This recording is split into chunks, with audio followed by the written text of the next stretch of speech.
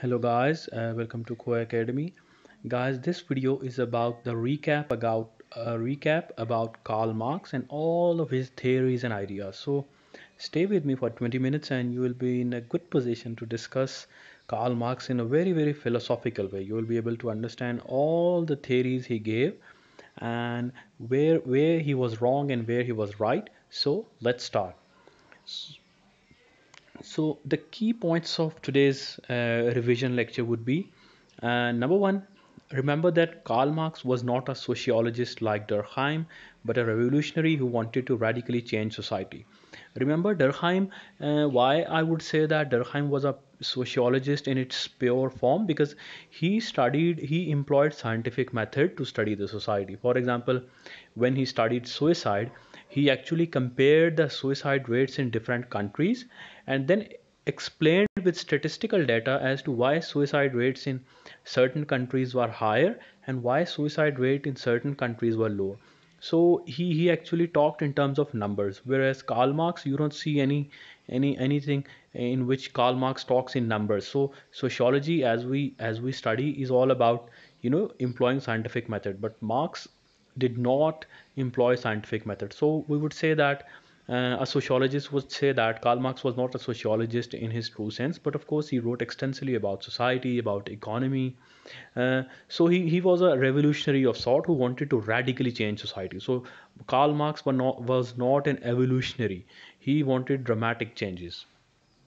So Marx's analytical approach to history and society. Remember, whenever different philosophers and historians study history, they employ a specific approach okay? They, they employ a specific approach. And what marx uh, what what approach marx uh, you know employed to study history was his approach of historical materialism. So let's break down this term.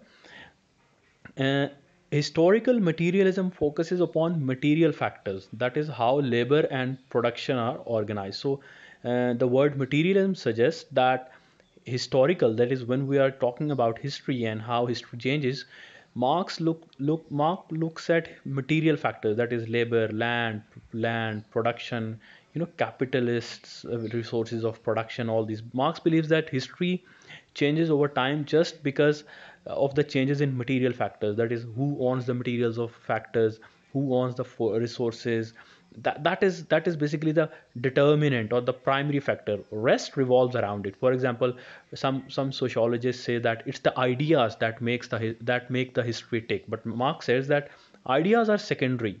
All the changes breed from how materialism how material factors are organized okay? We'll see more, more about it later.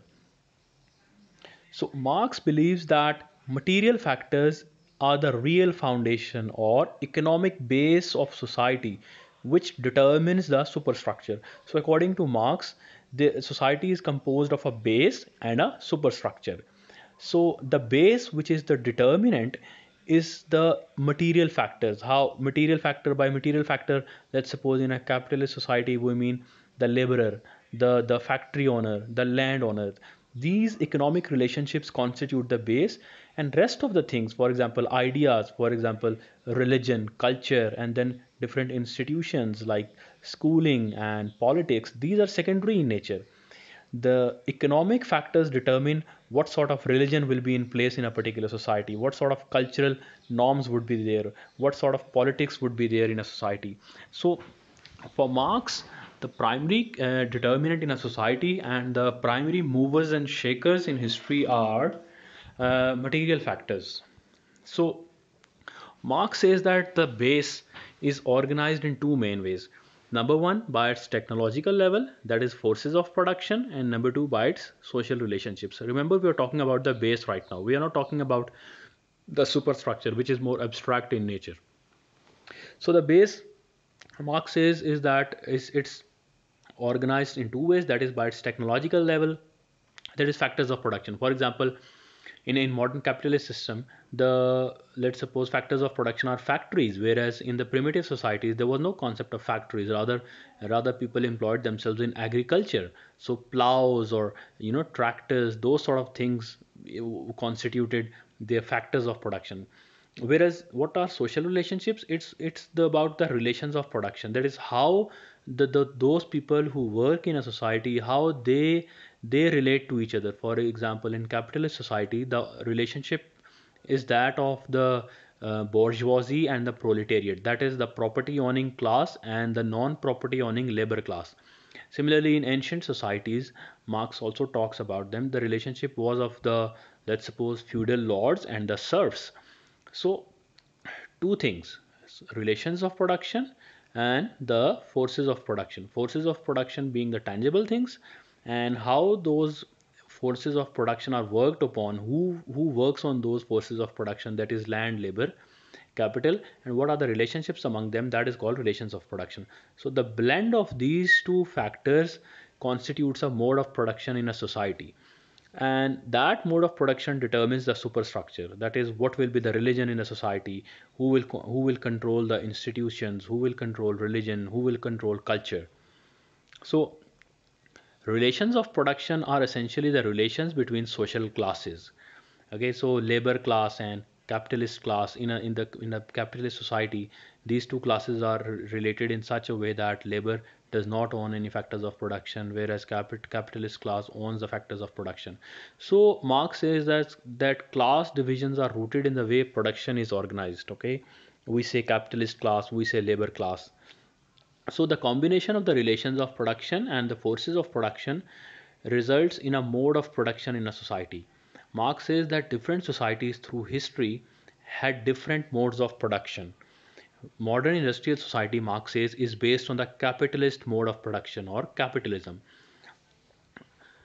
So in capitalism since we, we just said that uh, it's about uh, the mode of production is uh, you know about the classes so in capitalism one class the capitalist class owns all the productive assets. The other class the working class owns only its labor power which it must sell to the capitalist class in exchange for wages.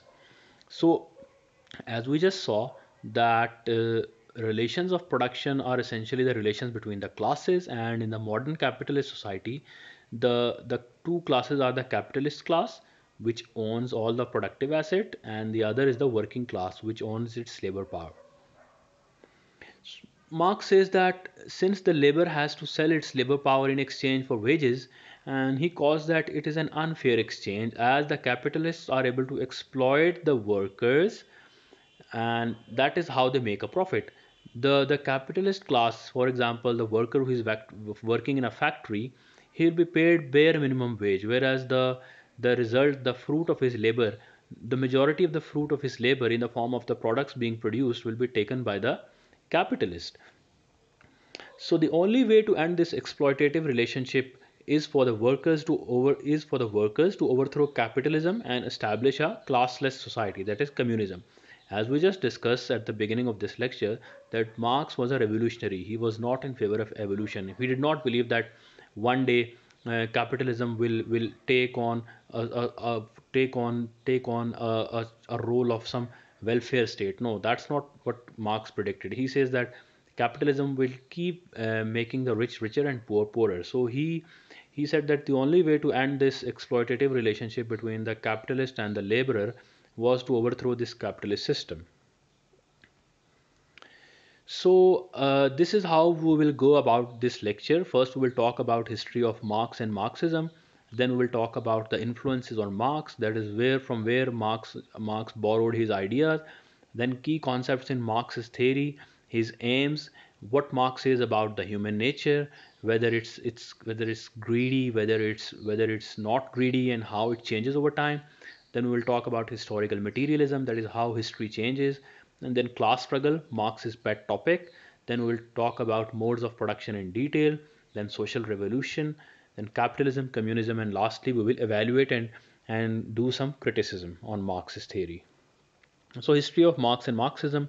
Karl marx um, he lived from 1818 to 1883 uh, and Marx joins radical movement. Okay, he but he was exiled from Germany, and he goes to Paris and London and writes his main works.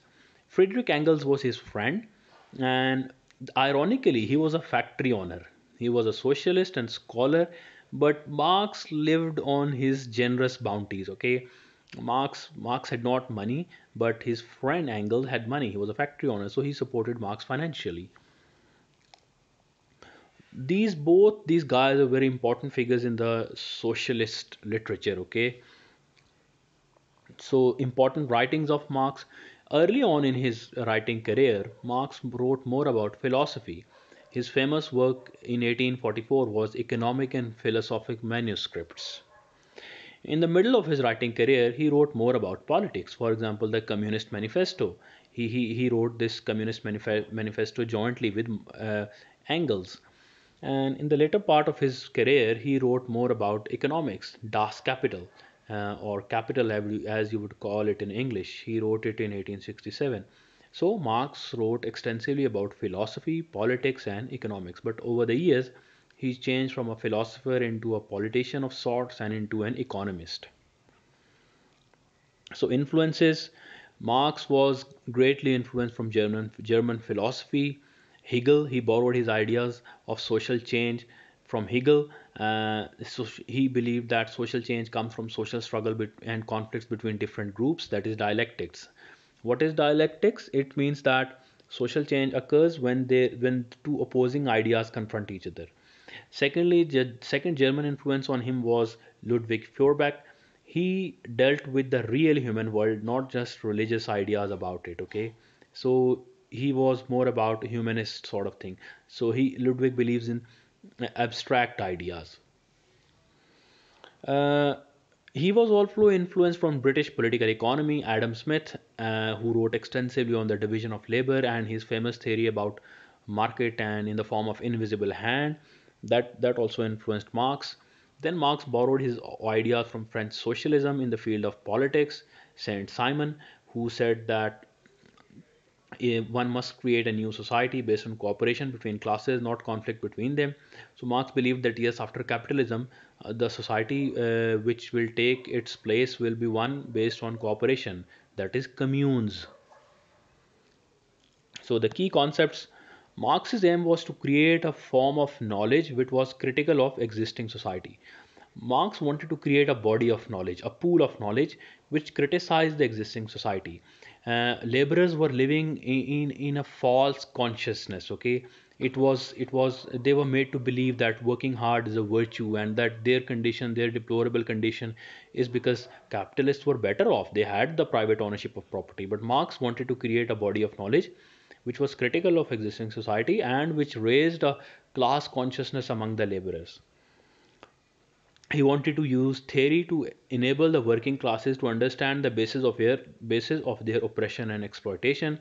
So, according to Marx, the working class did not perceive that it was being exploited. They just took it for granted that okay, capitalist class do own the uh, forces of production and they they need to uh, earn better because they they are the haves and with the working class are the haves not marx said that no that's not the case working class do not have resources because the bourgeoisie or the capitalist class have expropriated their resources. Marx wanted to encourage a revolution that is to abolish the capitalist society altogether. And lastly to point the way to a communist society. Marx believed that his writings would unite the workers of the world and ultimately they will overthrow the capitalist economy and a communist society would emerge in its place marx talks about human nature. This is a very very important concept remember because based upon this concept his theory of alienation is based okay? So marx believed that human being is fundamentally a social animal okay? Therefore human nature is socially malleable. If, if, if man is a social animal, then it means that his nature is changeable, it, it's malleable, it changes through history. Marx believed that human nature changes through history and it is shaped by particular societies. So, the type of society which is in place determines how an individual will behave. Okay, for example, in human nature, Marx says that in capitalism, the human nature is selfish, whereas in the communist communist communist society, human nature is cooperative Marx believed that the primitive societies were communi- communist in nature. And back then, human was cooperative. He was not selfish like in the capitalist system where the where the where the capitalist is is, is a selfish profit maker. so uh, marx marx fundamental premise is that human nature changes okay? Humans are fun- marx believe that humans are fundamentally creative beings and they express their creativity through making things that is in the work. So they find a satisfaction of their creative cravings in the work they do creative work is how humans express themselves as creating creative beings. Work is therefore at the heart of what it is to be human. It is enjoyable. So marx believes that being human means that you are creative and work is therefore at the essential of being creative being human. So work needs to be enjoyable in order to feel yourself as a human being okay? But work is only enjoyable if people are allowed to work freely and creatively it's no longer enjoyable if people are forced to work okay and therefore, for Marx, a good society is one which allows creativity and freedom in work, and a bad society is one which forces people to work so that work is neither free nor creative. Marx definitely believed that in the modern industrial capitalist society where there is division of labor, work is neither free nor creative. So human beings cannot express their creativity and of course they feel alienated from the um, work they, from the objects they create from the uh, from the entire production process and from themselves and their fellow workers. Talking about historical materialism marx believes that anyone wishing to understand society must always regard the material aspects of society as the most important. For marx material factors are the determining. The ideal elements of a society are less important. They are determined what do we mean by ideal elements means it means the the values the culture the social institutions like family politics religion marx says that these are determined by the material factors which are determining in nature for example the the capitalist class which owns the factors of production they decide what sort of religion is better. Marx famously says that uh, religion is the opium of the poor. So Marx believes that the rich class, the property owning class, actually have created certain religious ethos which make the working class believe that being poor is is sort of is, is part of the fate. I mean they can't do anything about it. But marx says that that is that the religious these religious beliefs are created these ideal elements or religious beliefs are created. That is they are determined and what are the determining factors? They are the material aspects which the property owning class owns okay? So what are ideal aspects? Hegel emphasized the ideal factors in history. Remember earlier we, we read that marx borrowed his his ideas from hegel also. But Hegel believed in ideas. He believed that history moves as a result of the opposing forces of ideas and beliefs, for example, morality and religion, which are abstract in nature, and ways of thinking and overall culture. Marx rejected Hegel's idealism. Marx believed that yes, history moves forward when opposing forces clash. But Marx believed that it's not because of ideal factors. Ideal factors are determining. Ideal factors are determined. It's the more material factors which collide, and then history moves, and there is there is there is like revolution, and history moves forward. Okay, so Marx, even though believed in this dialectical dialectical process, that history moves forward because of synthesis and antithesis but it's not the synthesis of ideas rather it's the synthesis of how production is organized okay so marx realized that it was necessary to concentrate on the material factors in history people that is people making things for example how which who which people work on the forces of production to make things people working, laborers, and people working on raw materials to make goods, and humans transforming nature for their use. So these are all the material factors. That is how production is organized, how how who are the people who work on who are the people who, who work on the resources or factors of production then who who are the people who work on the raw materials to produce goods and who how humans transform nature for their use. That is converting raw materials into goods. So, historical materialism, Marx believes that social change is produced by changes in material factors, as opposed to Hegel's idealism, who believed that social change is produced by changes in ideas. human history is driven by changes in how people work and make things. Once again we talked about base economic base and the superstructure. Marx believed that history is driven by changes in the base. That is how people work and make things. Whereas hegel believed that history uh, changes because of the superstructure. That is how because how ideas change. That changes the history and that drives the change. So materialism looks at material factors in society and it emphasizes the production and labor over ideal factors. And historical means that we look at changes over time in material factors. So that is where how the term historical materialism comes into being.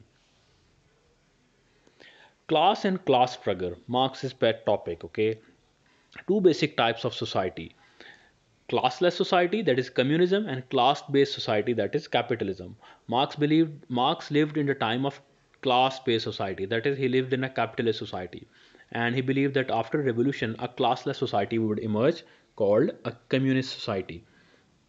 Within class based societies classes are the most important groups in the society okay? Uh, you know like groups social groups can be many. For example family is a social group religion is a social group and these groups uh, these groups interact with each other in a social setting. But marx believed that in a society classes are the most important groups and marx identified two classes capitalist class and the working class marx believed that these two classes were antagonistic to each other because their interests were different. They, they always opposed each other. Classes are antagonistic to each other as each class has opposing interests. For example in capitalist society the interest of the capitalist class is to pay workers as little as possible to exploit them in order to make profit. So worker may, uh, capitalist class makes profit by exploiting the workers, okay? So their interest can never be the same. Whereas the interest of the working class is to raise wages and eventually to abolish capitalism entirely. Of course, working class does not owns the factors of production so they do not participate in the profits of the production process so the only their only interest is to demand uh, raise raise in their wages and of course if wages capitalist class would not raise wages because they want their profits so ultimately uh, when class consciousness will arise among the laborers they will overthrow and abolish capitalism class struggle classes are always in conflict with each other as they struggle to be the most powerful in society.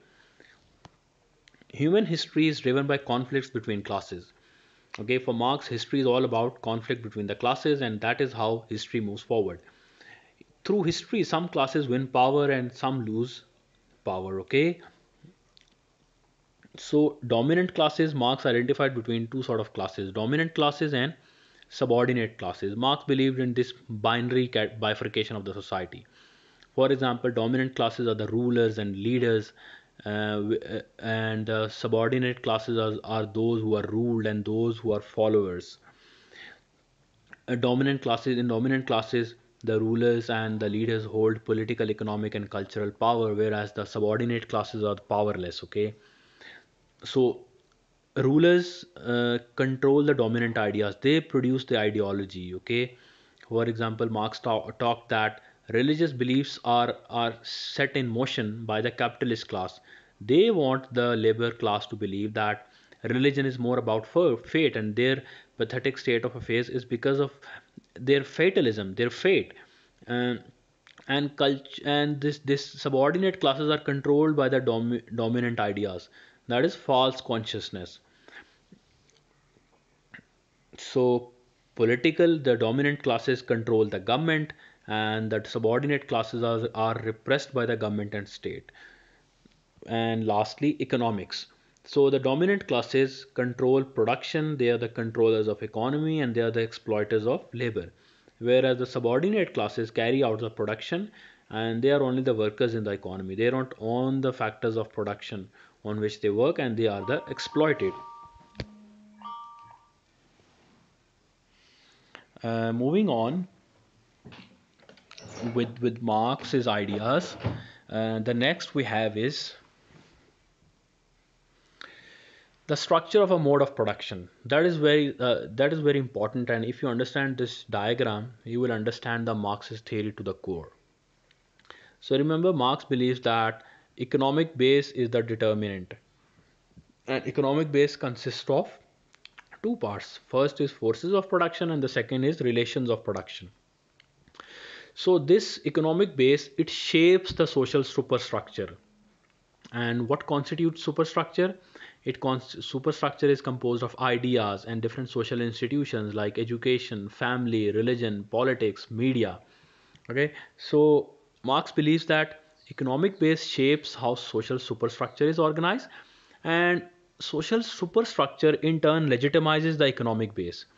So superstructure by superstructure, we mean ways of thinking, values, ideas, and social institutions. Marx believes that since the capitalist class owns the forces of production, they determine what values would be attached to social superstructure. They control politics, they control mass media, they control religious beliefs, they control family patterns, they control education. So once they control these, they legitimize, they they they control the state and they legitimize their property rights for example they they come up with ideas like legislation on property rights so that the rich are protected their property is protected from the poor they they make legislation in their favor. So once these uh, uh, so social institutions arise and those who own the factors of production they they make these social institutions. So they legitimize their position. Modes of production remember we talked that uh, forces of production and relations of production combine to form of mode of production. The most important of marx's ideas you know as we discussed earlier that later on in his in his uh, career marx wrote more about economics. Marx identifies production as essential for human existence. Production is uh, is the making of things and making things is actually transforming nature through labor. And transforming nature means using mean you, you means using tools and labor to transform raw materials into usable goods for example foods clothes shelter. Uh, this is karl marx's quote men must be in a position to live in order to be able to make history but life involves before everything else eating and drinking a habitation clothing and many other things the first historical act is thus the production of the means to satisfy these needs the production of material life itself. So Marx believes that in order to create history, first humans need to survive. And in order to survive, they need these material things to satisfy their needs. And lastly, consumption of those goods uh, which, which humans transform uh, to stay alive. Production is a social activity according to Marx and humans cannot produce much as isolated individuals even though the capitalist system believes that division of labor results in more production but marx believes that if people work together and not in isolation they can produce more he believed that uh, people must work cooperatively with each, with each other. That is they should engage in social activities so that they can produce more. In a division of labor different people have different jobs and production has to be organized or managed. Different forms of organization that is modes of production equals to different types of societies. Marx believes that over the over the over the history different societies actually organize forms of production that is modes of production in different ways. And a particular organization about the the this production uh, gives rise to a different type of society. So in a class-based society the ruling class owns the means of production that is the tools raw materials and finished goods. The ruling class therefore controls production and they are then the they are the class of the owners so ruling class actually owns the factors of production that is means of production. The bus the subordinate classes do the actual work but they do not own anything. So they are the non-owners. They are the workers. So the relations of production consists of owners and non-owners. That is those who own the factors of production and those who do not. The ruling class reaps the benefits. The subordinate classes are exploited. Uh, Marx, in his in his book Preface to a Critique of Political Economy, wrote that in the social production of their life, men enter into definite relations that are indispensable and independent of their will. Relations of production which which correspond to a definite stage of development of their material productive forces. The sum of these relations of production constitutes the economic structure of the society, the real foundation on which rises a legal and political superstructure and to which correspond definite forms of social consciousness. The mode of production of material life conditions the social, political, and intellectual life process in general. When we will talk about modes of production in the next few slides, you will understand this. Otherwise, you can just stop the video and write it somewhere so that you can come back to it later. The once again, the economic base remember has two parts the forces of production and relations of production forces of production constitute of the scientific knowledge technological know-how tools raw materials and labor force whereas relations of production constitute the social relations which control and organize production. It constitutes the class of owners who controls the class of non-owners.